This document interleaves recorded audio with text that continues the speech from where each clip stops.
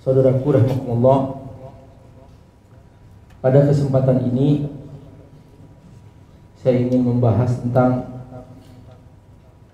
Sabar Dalam hubungannya dengan Tauhid. Tauhid artinya kita ikut Allah. Tidak ada makhluk yang pantas dituhankan. Tidak ada dan tidak ada makhluk yang pantas dijadikan tempat sandaran. Tidak ada. Semua makhluk punya kelemahan apa pun posisinya. Jabatan perusahaan sebagai pemilik perusahaan sebagai bos kaya semua itu bukan menjadi alasan untuk dijadikan sandaran. Makanya Allah Subhanahu wa taala dalam surah Ikhlas Allah berfirman, "Qul huwallahu ahad, Allahus samad."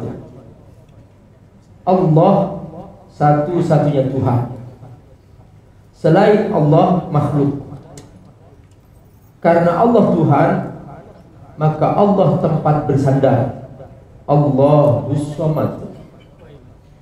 Maka ketika kita menyandarkan seluruh persoalan kita, kita menjaga hubungan dengan Allah Subhanahu wa taala, maka kita telah bertauhid kepada Allah Subhanahu wa taala. Tapi ketika hati kita ada tempat sandaran yang lain. Misalnya dia mengutamakan makhluk di atas Allah SWT. Dia lebih mengandalkan usahanya sendiri daripada Allah Subhanahu wa taala. Dia malas berdoa kepada Allah karena dia merasa bahwa dirinya sudah cukup tanpa Allah.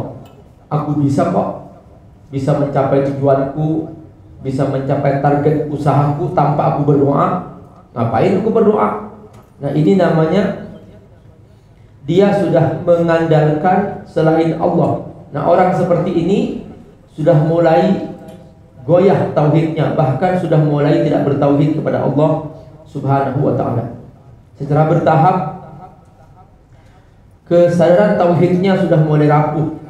Mengapa? Karena dia sudah tidak mengagungkan Allah di atas segalanya. Dia tidak menjadikan Allah tempat bergantung. Allah Maha Kaya. Sesulit apa pun hidup kita, minta kepada Allah. Berdoalah kepada Allah. Nangislah di depan Allah. Kita akan tenang. Allah Maha Penyembuh. Separah apa pun sebuah penyakit, mintalah kepada Allah. Allahu Syafi.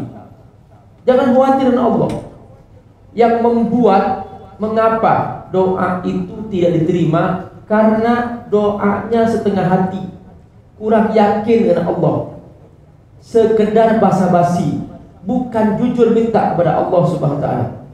Allah sudah pasti akan menjamin bahwa doa yang kita panjatkan akan Allah terima. Ud'uni astajib lakum. Mintalah kepadaku aku pasti akan menerima doamu. Memang cara Allah menerima doa berproses ada yang langsung Allah berikan. Misalnya kita mau safar. Kita berdoa Allahumma hawwin alaina safarana hadha wa atfi anna bu'da. Allahumma antas sahibu fi safar wal khalifatu fil ahl. Ya Allah, mudahkan perjalananku ini. Jadikan yang jauh menjadi dekat. Begitu kita baca perjalanan lancar, kita sampai ke tujuan. Itu bukti bahwa doa kita langsung diterima. Ada yang Allah tunda, tidak langsung Allah berikan. Mengapa? Allah tahu kemaslahatan bagi kita. Kita berdoa, Allahumma hawwin alaina safarana hadha wa ati anna bu'da. Ya Allah mudahkan perjalananku ini. Ya Allah yang jauh dekatkan. Tiba-tiba kita kena macet sampai akhirnya kita tidak kebagian pesawat yang sudah kita booking.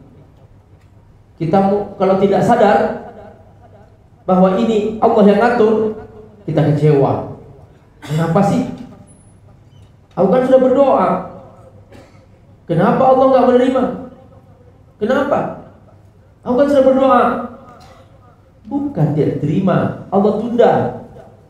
Begitu begitu hangus tiketnya, dia mendengar berita bahwa ternyata pesawat yang take off itu yang seharusnya dia naiki tiba-tiba jatuh.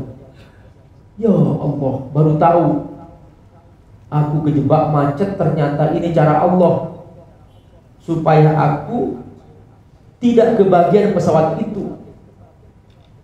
Jadi doa sudah terima. Tapi Allah punya cara gimana mengatur Kapan kita harus mendapatkan tujuan itu? Makanya dalam kita berdoa, tugas kita hanya berdoa. Bersabar menunggu jawaban Allah Subhanahu wa taala. Dan jangan mengatur Allah. Jangan paksa Allah ikut kemauan kita. Logika kita berpikir kita selalu berdasarkan kepentingan. Tapi Logika Allah Subhanahu wa taala berdasarkan kemaslahatan. Makanya jangan kemudian mengatur Allah. Allah, biarkan Allah dengan caranya Allah mengatur apa yang kita minta. Nah, ini cara kita bertauhid dalam hidup kita sehari-hari. Jangan sampai kita selalu sedikit-sedikit kecewa dengan Allah.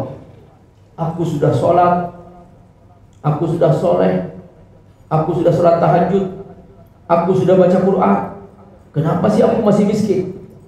Tetanggaku udah gak pernah sholat, gak pernah baca Quran, gak pernah ikut pengajian. Tapi kenapa dia kok semakin kaya?